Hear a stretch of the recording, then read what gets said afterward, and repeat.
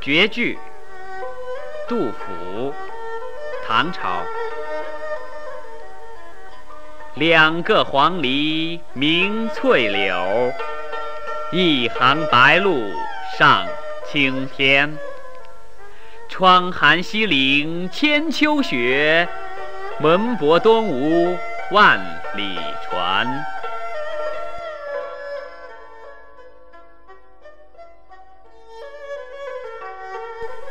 这首诗描写了成都草堂周围明媚秀丽的春景，表现了诗人沉浸在美好大自然中的由衷喜悦之情。诗大意：两只黄鹂在翠柳之间鸣啼，一行白鹭飞上了碧蓝的天际。透过窗口。可以遥望西山的千年积雪，门外的大河里停泊着远航东吴的船只。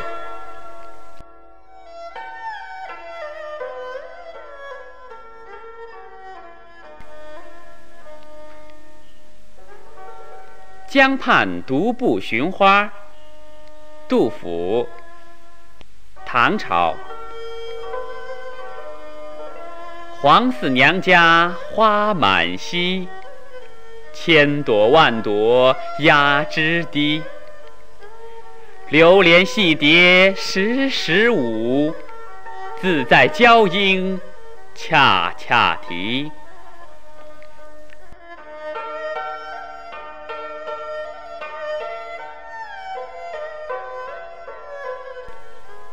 这首诗以细致的白描手法。描写了诗人成都草堂的邻居黄四娘家的花团锦簇，抒发了诗人陶醉于迷人春光的喜悦之情。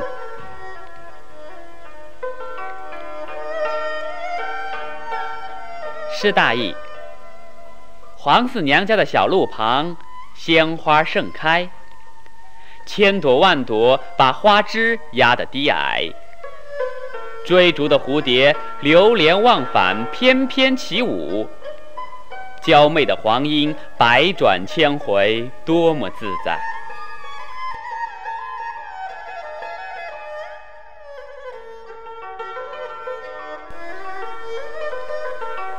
《次北固山下》王湾，唐朝。客路青山外。行舟绿水前，潮平两岸阔，风正一帆悬。海日生残夜，江春入旧年。乡书何由达，归雁洛阳边。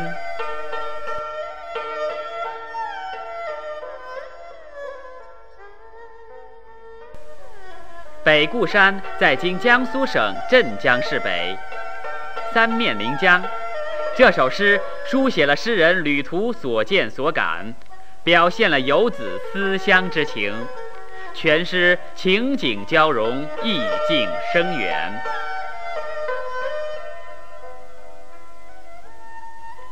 诗大意：旅途还很遥远，远在青山之外。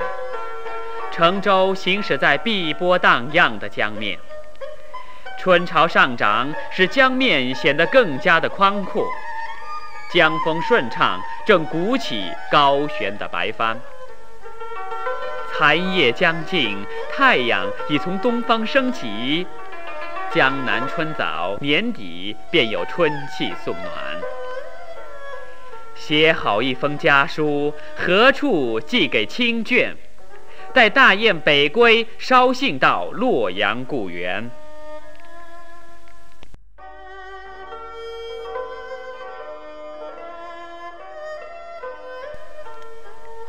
春夜喜雨，杜甫。好雨知时节，当春乃发生。随风潜入夜。若无物，细无声。野径云俱黑，江船火独明。晓看红湿处，花重锦官城。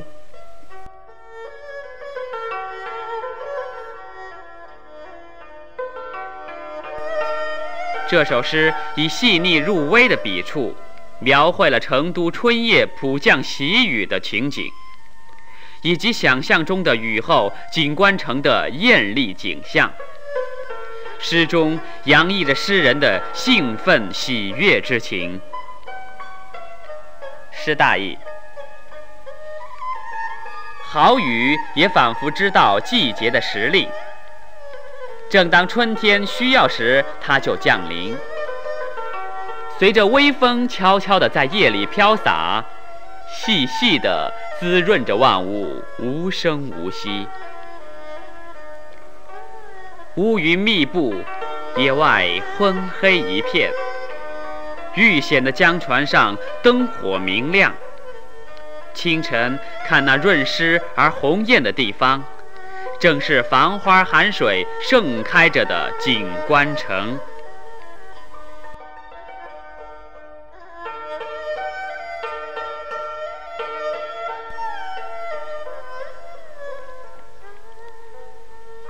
赋得古原草送别。白居易，唐朝。历历原上草。一岁一枯荣，野火烧不尽，春风吹又生。远芳侵古道，晴翠接荒城。又送王孙去，萋萋满别情。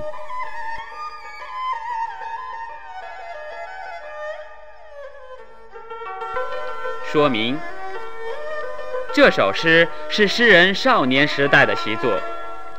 他热情地赞美了野草顽强的生命力，同时表达了对朋友送别的依依深情。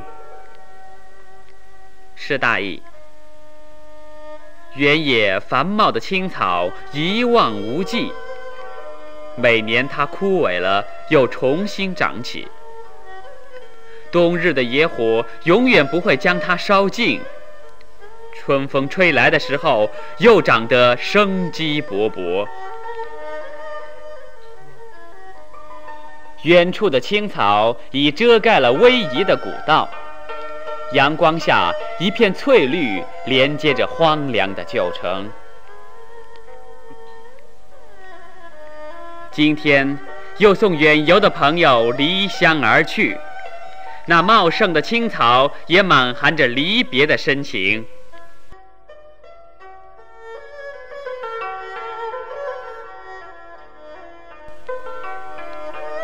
横溪塘春晓》于四良，宋朝。一把青秧趁手轻，青烟漠漠。雨冥冥，东风染尽三千顷，白鹭飞来无处停。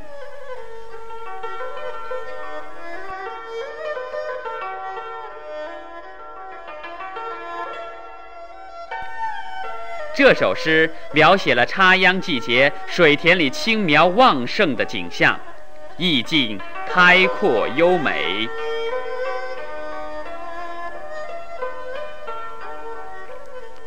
诗大意：把把秧苗插下，随即就返了青。水田里青烟弥漫，阴雨冥冥。浩荡的东风吹绿了数千顷的稻田，白鹭飞来，盘旋半天，竟无处可停。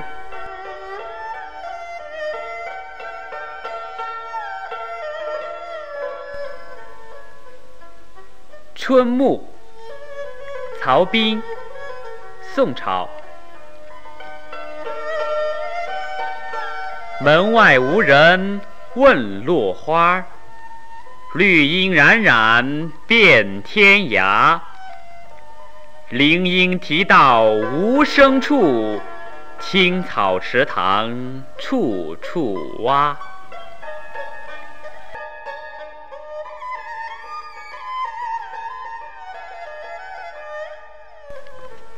百花凋零，大地却绿冉冉一片葱茏。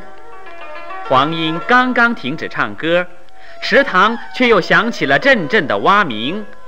这首诗采用对比的手法，生动地表现出暮春时节的景象。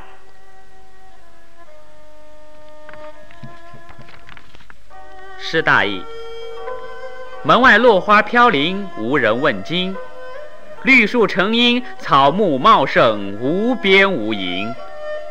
林中的黄莺啼叫刚刚停歇，又听见青草池塘边处处的蛙鸣。《